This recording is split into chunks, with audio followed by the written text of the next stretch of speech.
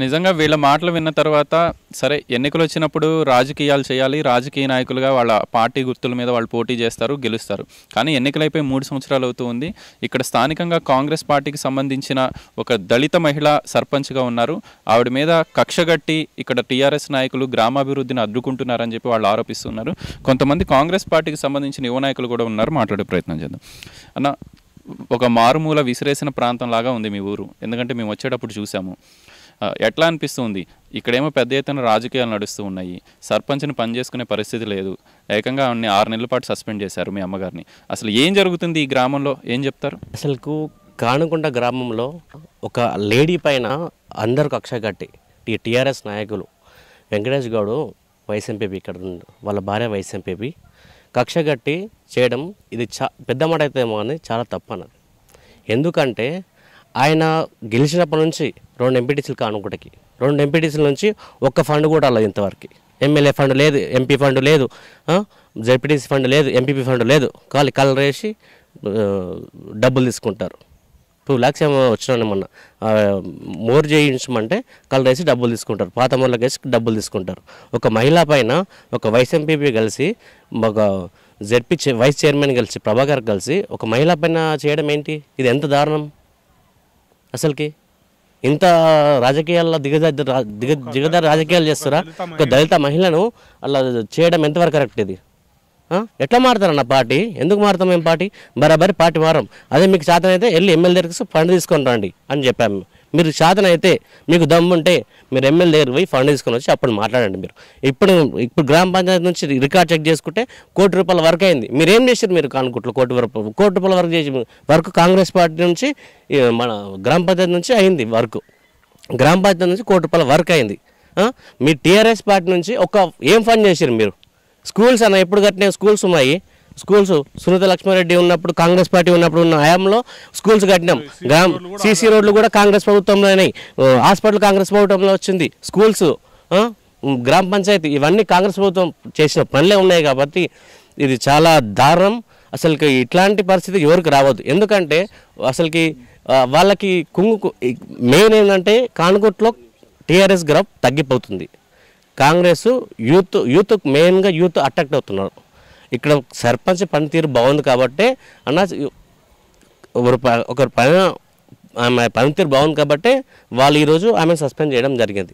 వాళ్ళకి తెలుసు survey next ఏందనేది. వాళ్ళ గతి ఏందనేది కూడా తెలుసు ఈడ. ఇద్దరు ఎంపీటీసీలు ఉన్నారన్న ఏం పని తీసుకొచ్చారన్న చెప్పండి. రెండు ఎంపీటీసీలు ఉన్నాయి. ఏం చేశారు అసలుకి? ఏం జరుగుతుంది కానుకుంట్లా ఇదేనా రాజకీయం ఇది? పొద్దున్న చేసి తెల్లబాట్లు వేసుకుని తిరిగాడు కాదు మా రాజకీయం. ఎమ్మెల్యే దగ్గర పోయి కూర్చొని మాట్లాడాలి. అది రాజకీయం అంటే.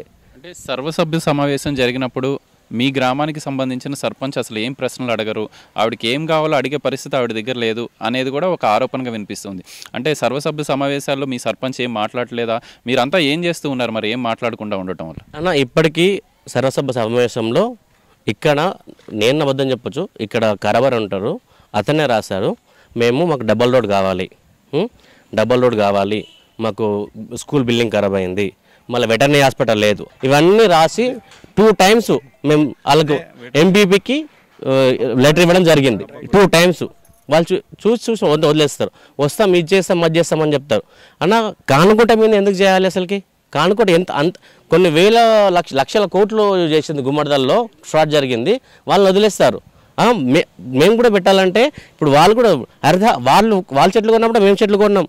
వాళ్ళు. కేసీఆర్ బర్త్డేకు వెయ్యి మొక్కలు నాటాలంటే మేము కూడా పోయి లక్ష రూపాయలు పెట్టి మొక్కలు వేసి నాటినాం కదన్నా ఇదేంది? ఇది ఇది రాజకీయాల్లో ఇది కరెక్ట్ కాదు. మేము గెలిచినప్పటి నుంచి అందరిని కలుపుకొని పోతున్నాం. సర్పంచ్ గారు అందరిని కలుపుకొని పోతున్నారు.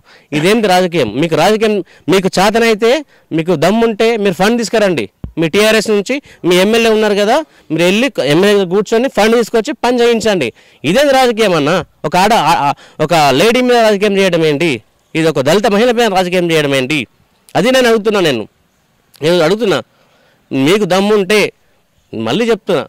ఎమ్మెల్యే దగ్గర ఉండి పని చేయించండి. ఎవరు అసలు ఎమ్మెల్యే వస్తాడు ఎంతసేపు ఉంటుంది తెలుసా? టూ మినిట్స్ రెండు నిమిషాల కంటే ఎక్కువ నిలబడడు. వాళ్ళకి ఒకటే రెండు నిమిషాల కంటే ఎక్కువ నిలబడు ఎమ్మెల్యే ఎక్కడ ఉంటే. కానుకుంటా ఎక్కడుందో తెలియదు అని చెప్తారు. ఆ? వైస్ ఎంపీపీ వెంకటేష్ గౌడే బెల్ట్ బెల్ట్ షాప్ రోజు మా అంత బెల్ట్ షాపులు ఉంటాయి. ఇంతకుముందు తీర్మానం చేసినాం అందరు గ్రామ సభ తీర్మానం చేసినాం. బెల్ట్ షాపులు ఉండొద్దని. కక్ష కట్టి తీమన కక్ష కట్టి కూడా ఇది ఈ సర్పంచ్ సస్పెన్షన్ కూడా కారణమవుతున్నాడు. అంటే వైస్ ఎంపీపీ భర్తకు సంబంధించిన బెల్ట్ షాపులు ఈ కానుకుంట గ్రామంలో ఉన్నాయా? ఏం పేరు ఆయన పేరు? సో వెంకటేష్ గౌడ్ బెల్ట్ షాపులకు ఇబ్బంది అవుతుందని చెప్పి ఇది కూడా ఒక కక్షలో ఒక భాగం అనుకోవచ్చు? ఇది కూడా ఒక కక్ష. ఇక్కడ మద్యం చాలా వేరులై పారుతుంది. మద్యం చాలా దొరుకుతుంది ఇక్కడ. మద్యం అమ్ముతారు అక్క- అక్కడనే. మీ ఊర్లో మంచినీళ్ళు దొరకవు కానీ మద్యం అయితే బాగా దొరుకుతుంది.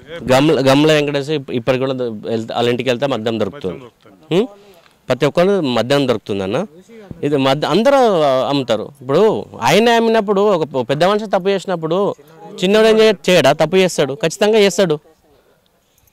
ఖచ్చితంగా తప్పు చేస్తాడన్న రైట్గా చివరిగా అసలు ఏం డిమాండ్ చేయదలుచుకున్నారు? మీకు అన్యాయం జరిగిందని మీరు చెప్తూ ఉన్నారు. మీరు కాంగ్రెస్ పార్టీ నుంచి ఉన్నారు కాబట్టి ఈ అన్యాయం అంతా కళ్ళకు కట్టినట్టు కనిపిస్తూ ఉంది చూసిన వాళ్ళకి. మీ ఇన్ఛార్జ్ కాటా శ్రీనివాస్ గౌడ్ ఉన్నారు మీ పార్టీ పెద్దలు ఉన్నారు. ఏమన్నా కోర్టుకు వెళ్ళే పరిస్థితి ఉందా? మీకు నిజంగా అన్యాయం జరిగింది అంటున్నారు ఖచ్చితంగా కోర్టుకి వెళ్తాం ఖచ్చితంగా కోర్టు సాయం తీసుకుంటాం. వెళ్ళి మేము స్టే తెచ్చుకున్న పనిలో మేము కూడా ఉంటాం. ప్రజల నిర్ణయాన్ని కూడా వదిలేస్తాం మేము. కొంచెం ప్రజలు కూడా ప్రజ మీరు ప్రజల్లో అడగండి మా సర్పంచ్ తీరు ఎలా ఉంది? ఎలా ఉంది. అది ప్రజల్లో అడగండి. వీళ్ళ టీఆర్ఎస్ వాళ్ళు వీళ్ళు వీళ్ళు ప్రజా పరిపాలన చేయట్లేదు అని ఇక్కడ. ప్రజా పరిపాలన టీఆర్ఎస్ వాళ్ళు అస్సలు చేయట్లేదు. ఇక్కడ ఏముందంటే ప్రజా పరిపాలన లేదు టీఆర్ఎస్కి. ఓన్లీ ఏంటంటే బెదిరింపులు. టీ టీఆర్ఎస్ పార్టీ అంటేనే బ్లాక్మెయిలింగ్. Blackmailing politics. పార్టీలోకి రావాలి లేదంటే బెదిరియాలి. ఇప్పటికీ ఇద్దరు ముగ్గురు వాడినమ్మలు లాక్కున్నారు. ఇంకోటి వీళ్ళు మిషన్ దగ్గర నీళ్ళు ఇచ్చినామని చెప్పుకుంటారు అసలుకి మిషన్ దగ్గర నీళ్ళు అసలుకి ఎన్ని వచ్చినాయి? వీళ్ళ పైప్ ఏందో ఒక ఇక్కడికి ఎంత వచ్చిందంటే సగం ఊరికే వచ్చింది. సగం ఊరికి వస్తే అప్పుడు సర్పంచ్ గారు ఏం చేశారంటే నేను మొత్తం విలేజ్ మొత్తం వాటర్ తాగిపించాలని చెప్పి అక్కడ ఏఈ సార్ తీసుకొని ఏఈ వాళ్ళ పర్మిషన్ తీసుకొని మళ్ళీ డిఈతో కూడా మాట్లాడుకొని ఇక్కడ మేము సొంతంగా సర్పంచ్ సొంతంగా డబ్బులు ఖర్చు పెట్టి మళ్ళీ పైప్ తెప్పించి వేయించారు విలేజ్ మొత్తం. విలేజ్ మొత్తం వాటర్ తాగించడానికి. ఇది ఇది ఒక ఫోర్ ల్యాక్స్ ఇది ఒక ఫోర్ ల్యాక్స్ పెట్టింది. సర్పంచ్ స్వయంగా ఎంబీఏ కూడా ఉంది ఆల్రెడీ. ఈ ఫోర్ ల్యాక్స్ వాళ్ళు చెప్పుకుంటారు మేము నల్లలు ఇచ్చినామని చెప్పి. ఎక్కడ నల్లలో? ఆ సగం సగం పనులన్నీ సల్- నల్లలు ఇచ్చారని చెప్తున్నారు కదా వాళ్ళు. ఎక్కడ సగం అక్కడికి అక్కడికి రాగానే ఏ ఫోన్ నేను డౌట్ ఏ కూడా ఫోన్ చేసుకోండి ఎంక్వైరీ చేసుకోండి. సర్పంచ్ గారు మీకు పైప్ అయిపోతుంది. అయిపోతుంది. ఏం చేయాలి? అదే మాకు ఎట్లకించి వాటర్ కావాలి? ప్రతి ఇంటికి వాటర్ కావాలని సర్పంచ్ గారు అప్పుడు ఏ సలహా తీసుకొని మేము తీసుకుంటాం. మేము గ్రామ పంచాయతీ నుంచి చెల్లించుకోవచ్చు మీరు అని ఒక సలహా ఇస్తే మేము ఇప్పటి నుంచి గ్రామ పంచాయతీ నుంచి గ్రామ పంచాయతీ నుంచి పైప్ తెప్పించి ప్రతి ఇంటికి నల్ల నీళ్ళు ఇచ్చినాం. అది మాది మా తత్వం. మేము మిమ్మల్ని ఏ రాజు కూడా వ్యతిరేకించలే. కానీ ఈరోజు మమ్మల్ని సస్పెండ్ చేస్తారు మీరు. ఈ చెక్ పవర్కి సంబంధించి కూడా దొంగలకి చెక్ పవర్ కట్టబెట్టబోతూ ఉన్నారు అని చెప్పి ఒక డౌట్ వ్యక్తం చేస్తున్నారు. ఏంటి? ఎఫ్ఐఆర్ల పేరున్నది కోర్టు కేసులో ఉన్నారు ఓ డ్రగ్స్ కేసులో ఉన్నారు ఓ మర్డర్ ఒక ఆయన చనిపోయిన దాంట్లో కేసులో ముద్దాయి ఉన్నాడు? ఇప్పుడు చెక్ పై తోరేకి ఇస్తారో విశాల్ గౌడ్ అయితే ఆయన అతనికి అతనికి ఎట్లు ఇస్తారు మీరు? సార్ వార్డు మెంబరే. ఆయనతో మాత్రం చెక్ పవర్స్ ఎట్లు ఇస్తారు అంటే సర్పంచ్ దళిత మహిళ కదా. కాబట్టి ఇంకా మిగిలిన మహిళలు ఎవరు లేరా? దళిత మహిళ ఉన్నారు దళిత పర్సన్ కూడా వ్యక్తి కూడా ఉన్నాడు. వాళ్ళిద్దరికి ఎవరికన్నా ఇవ్వచ్చు కానీ ఆ బీసీ ఒక గౌడుకు బీసీకి ఎందుకు ఇవ్వాలి? అందులో అతను ముద్దాయి. కోర్టు కేసులు ఉన్నాయి.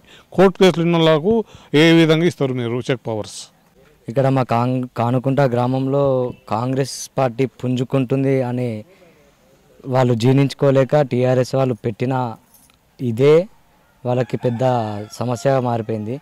ఆమె నిధులు ఎక్కడ రాకపోయినా కానీ ఆమె సొంత భూమి అమ్ముకొని మరీ పైప్ లైన్ కానీ ఆ ట్యాప్స్ కానీ వేయించడం జరిగింది. సర్పంచ్ గారు. ఆమెకు నిధులు రాలేవు. నిధులు రాకున్నా కానీ ఆమె సొంత పైసలు పెట్టి కానుకుంటలా ఇప్పటివరకు నీరు అనేది గ చా- గత చాలా రోజుల నుంచి నీళ్ళ సమస్య ఉండే ఇక్కడ. ఎన్నో రోజుల నుంచి సంవత్సరాల నుంచి. ఆ సమస్య మొన్న మా సర్పంచ్ కానుకుంటగా కాంగ్రెస్ పార్టీ నుంచి గెలిచిన సర్పంచ్ నీలమ్మ గారు వచ్చిన తర్వాత ఆమె సొంత నిధులతోని పైప్ లైన్ వేయించి వాటర్ తేవడం జరిగింది. అది చేసి మంచి పని చేస్తే కూడా వారు ఓర్చుకోక టీఆర్ఎస్ పార్టీ వాళ్ళు కానివ్వండి ఇంకా వేరే వాళ్ళు కానివ్వండి వాళ్ళు ఓర్చుకోక ఇట్లా అవిశ్వాసం పెట్టడం సరికాదు. వాళ్ళు ఓర్వాక ఇప్పుడు ఇప్పుడు ముందు ఫ్యూచర్ ఏముందంటే మొత్తం యూత్ ఉంది. వాళ్ళ మెయిన్ పాయింట్ ఏంటంటే యూత్ మొత్తం కా- కాంగ్రెస్ పార్టీలో ఉంది. వాళ్ళు అది ఓర్చుకోలేకపోతున్నారు మా టీఆర్ఎస్ పార్టీ ఎవరు లేరు కానుకుంటలో లేదు. మొత్తం దగ్ధమైపోతుంది అన్నట్టు అదే ఆరోపణ పైన వాళ్ళు ఈ వ్యూహం చేయడం జరిగింది. ఇది సరైనది కాదు. మారాలే మారితేనే ఊరు బాగుపడుతుంది. అందరు ఒకటై నడుస్తూనే ముందుకెళ్తామనేసి నా ఉద్దేశం. నా చివరిగా Congress party TRS party BJP పక్కన పెట్టేద్దాం. చాలామంది యువకులు మీరు ఇక్కడే పుట్టి పెరిగారు. మీ గ్రామం కోసం మీరు ఏదో ఒకటి చేయాల్సిన సమయం అయితే ఆసన్నమైంది. సర్పంచ్ని సస్పెండ్ చేశారు. అభివృద్ధి ఆగిపోయింది. అభివృద్ధికి అడ్డుపడుతూ ఉన్నారు టీఆర్ఎస్ నాయకులు ఇక్కడ ప్రజాప్రతినిధి అని మీరు ఆరోపిస్తున్నారు అసలు యువకులు ఏమనుకుంటున్నారు? చివరిగా ఏం చెప్పదలుచుకున్నారు? యువకులు ఏమనుకున్నారంటే మనకి ఇక్కడ గ్రామానికి సంబంధించిన విషయానికి వస్తే మన గ్రామ సర్పంచ్ అమ్మ గెలిపి ఉప సర్పంచ్ సర్పంచ్ అమ్మ గెలిచినప్పటి నుంచి కూడా ప్రతి వర్క్లో విషయంలో కానీ డబ్బులు రాకున్నా కానీ వాళ్ళ సొంత డబ్బులతో కానీ డెబ్బై ఐదు సంవత్సరాల నుంచి కానుకొండ విలేజ్కి వాటర్ ప్రాబ్లం వాటర్ ప్రాబ్లం చాలా. ఈ టూ ఇయర్స్ నుంచి వాటర్ ప్రాబ్లం లేకుండా చేసింది సొంత పైసలతోటి. కొన్ని డబ్బులు నిధులు అంటే ఎంబీ లేక అప్పుడు టైం లేక ఎంబీఏ లేకపోయారు. అదొక్కటి తప్ప ప్రతి దాంట్లో కరెక్ట్గా ఉన్నది. కానీ ఈ టీఆర్ఎస్ నాయకులు కొంతమంది ఉన్నారు చాలామంది ఉన్నారు విలేజ్లో ఉన్నారు. వాళ్ళ మీద ఖచ్చితంగా చర్యలు తీసుకుంటాం మేము కూడా ఖచ్చితంగా స్టే తీసుకుంటాము. వెంకటేష్ గౌడ్ కానీ అందరు ఉన్నారు. వైస్ ఎంపీపీ మన జడ్పీటీసీ ప్రభాకర్ కూడా ఉన్నారు. మా మనకు తెలిసింది తె- తెలిసింది ఉన్నాడు ఖచ్చితంగా ఉన్నాడు. ఖచ్చితంగా వాళ్ళపైన కూడా మేము చర్యలు తీసుకుంటాము. హండ్రెడ్ పర్సెంట్ చర్యలు తీసుకొని మాకు ఖచ్చితంగా స్టే తీసుకొని వాళ్ళ తరపున మా మా తరపున మేము మా పోటీ అనేది మేము చేస్తాము. సరే వాళ్ళు వాళ్ళు ఎంత చేసుకుంటారో మేము మేము మేము అంత చేసుకోవడం తప్పకుండా చేస్తాం. మా మా కాంగ్రెస్ పార్టీ తరపున మేము ఖచ్చితంగా మా యువకులం కానీ మా కాంగ్రెస్ పార్టీ నాయకులు సీనియర్ నాయకులు అందరం కలిసి ఖచ్చితంగా పోరాడతాం. మాకు అయినంత వరకు మాకు న్యాయం జరిగే వరకు మేము పోరాడుతుంటాం ఎస్, నిజంగానే ఇక్కడ కానుకుంటకి సంబంధించిన గ్రామ పెద్దలు ఇక్కడ సర్పంచ్ అదేవిధంగా కాంగ్రెస్ బీజేపీ నాయకులకి సంబంధించి వాళ్ళతో మాట్లాడుతున్నప్పుడు చాలా విషయాలు వెలుగులోకి వస్తున్నాయి. చూడటానికి ఒక చిన్న గ్రామమే అయినప్పటికీ ఇక్కడ చాలా స్కామ్ జరుగుతూ ఉంది అని చెప్పి వాళ్ళు ఆరోపణలు చేస్తున్నారు. ఇప్పుడే ఒక్కొక్క మాట వాళ్ళు బయటకు చెప్తూ ఉన్నారు మనం ఇక్కడికి వచ్చిన తర్వాత. ఇక్కడ ఒక పశువుల ఆసుపత్రి ఉంది. పశువుల దవాఖానాలో ఒక టీఆర్ఎస్ నాయకుడు ఏకంగా ఒక కిరాణా షాప్ పెట్టి ఆ కిరాణా షాప్ పెట్టడమే కాకుండా అందులో మందు కూడా అమ్ముతున్నాడని చెప్పి వీళ్ళు ఆరోపిస్తున్నారు. తెలుసుకునే ప్రయత్నం చేద్దాం. ఏం జరుగుతుందన్న మీ ఊర్లో ఇప్పుడు మీరు ఒక్కొక్క విషయాన్ని బయట పెడుతూ ఉన్నారు. అసలు ఏంటి ఆ కిరాణా షాప్ ఏంటి ఆ దవాఖానా ఏంటి ఏం జరుగుతుంది? ఇప్పుడు మీకు కూడా తెలుసుంటుంది ఇప్పుడు ఒక గవర్నమెంట్ స్థలంలో ఒక కిరాణా షాప్ అయినా సరే ఏ షాప్ అయినా సరే పెట్టాల్సి పెట్టే అర్హత ఎవరికి లేదు. ఎందుకంటే అది గవర్నమెంట్ స్థలం కాబట్టి. అలాంటి ఇది కిరాణా షాప్ పెట్టి అలా ఏవేవో అమ్మడం అసలు ఆ షాప్ పెట్టడమే తప్పు. దానికి టీఆర్ఎస్ నాయకులు వచ్చి రిబ్బన్ కట్ చేయడం ఒకటి తప్పు. ఇంకోటి ఇంకో సమస్య ఏముందంటే మా సర్పంచ్ గెలిచాక ఊర్లో బెల్ట్ షాపులు అనేది బంద్ చేయించినాం. ఎందుకంటే ఒక ఇన్సిడెంట్ అయింది. ఇన్సిడెంట్ అవ్వడం వల్ల బెల్ట్ షాపులు బంద్ చేయించినాం. దాని తర్వాత కొన్ని రోజులు అయిన తర్వాత మళ్ళీ బెల్ట్ షాపులు స్టార్ట్ అయ్యాయి. ఆ స్టార్ట్ అవ్వడం వల్ల ఏమవుతుందంటే గతంలో ఒక యువకుడు ఆత్మహత్య చేసుకున్నాడు బెల్ట్ షాపులలో. తాగి ఇట్లా చీ బా తాగుడికి బానిస అయ్యి తాగి చనిపోవడం జరిగింది. దానివల్ల మేము బంద్ చేయించినాం. ఇప్పుడు మళ్ళీ అదే తోవలో మళ్ళీ వెళ్తున్నారు. బెల్ట్ షాపులు మళ్ళీ ఓపెన్ అయ్యాయి. అవి మళ్ళీ జరుగుతూనే ఉన్నాయి. మొన్న రీసెంట్ కూడా ఒక యువకుడు మా యువకుడు తా- ఇలానే తాగి బెల్ట్ షాప్లో తాగి ఒంటి మీద పెట్రోల్ పోసుకొని తరగలు పెట్టుకున్నాడు. గాంధీ హాస్పిటల్లో ఉన్నాడు. మేము బెల్ట్ షాపులు వద్దు అని చెప్పి ప్ర- యువకుల ప్రాణాలు పోతున్నాయని చెప్పేసి మేమంటే మళ్ళీ ఆ బెల్ట్ షాపులు ఓపెన్ చేసి తాగడం విచ్చలవిడిగా తాగడం గవర్నమెంట్ స్థలాల పశు వైద్యశాల దగ్గర కిరాణా షాప్ పెట్టడం ఇది ఎంతవరకు న్యాయం?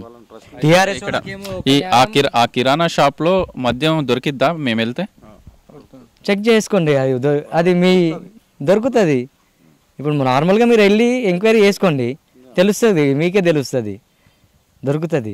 అంటే వీటి వెనకాల ఎవరున్నారు? ఇందా నుంచి మీరు చాలా జరుగుతున్న ఈ గ్రామంలో బెల్ట్ షాపులకు సంబంధించి అంటున్నారు.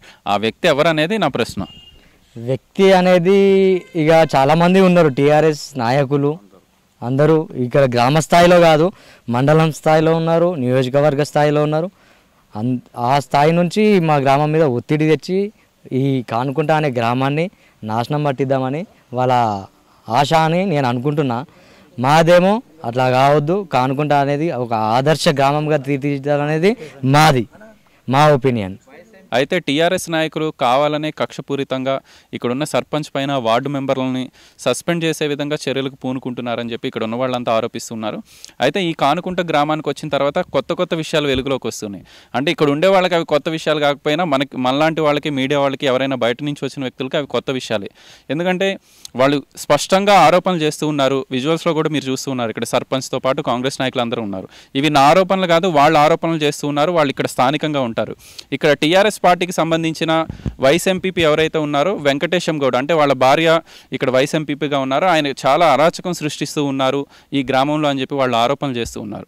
చూడాలి మరి ఆయన కూడా స్పందించాల్సిన బాధ్యత ఉంది. ఎందుకంటే ఆయన మీద చాలా ఆరోపణలు ఇక్కడ ఉన్న వాళ్ళంతా స్పష్టంగా చేస్తూ ఉన్నారు. బెల్ట్ షాపులు వద్దు అని చెప్పి గ్రామ సభ తీర్మానం చేసింది. సర్పంచ్ ఒక మహిళగా ఉన్నారు. అందులోనూ ఒక దళిత మహిళ సర్పంచ్ అయిన తర్వాత బెల్ట్ షాపులు వద్దే వద్దు అని చెప్పి వాళ్ళు తీర్మానాలు చేస్తున్నప్పటికీ మళ్ళీ మొదటి నుంచి బెల్ట్ షాపులు పెట్టుకుంటూ బెల్ట్ షాపులను పెంచుకుంటూ పోతూ ఉన్నారు ఇక్కడ టీఆర్ఎస్ నాయకులు అని చెప్పి వాళ్ళు ఆరోపిస్తూ ఉన్నారు. చూడాలి మరి రాబోయే రోజుల్లో ఏం జరగబోతుంది? అసలు ఈ కానుకుంట గ్రామానికి సంబంధించి ఎన్నికలైపోయి మూడు సంవత్సరాలు గడుస్తూ ఉన్నా ఇక్కడ టీఆర్ఎస్ నాయకులు కక్షపూరితంగానే వ్యవహరిస్తూ ఉన్నారు. దీనివల్ల ఫైనల్గా అంతిమంగా నష్టపోతూ ఉంది గ్రామ ప్రజలే అని చెప్పి ఇక్కడున్న కాంగ్రెస్ నాయకులతో పాటు గ్రామ పెద్దలు ఆరోపిస్తూ ఉన్నారు.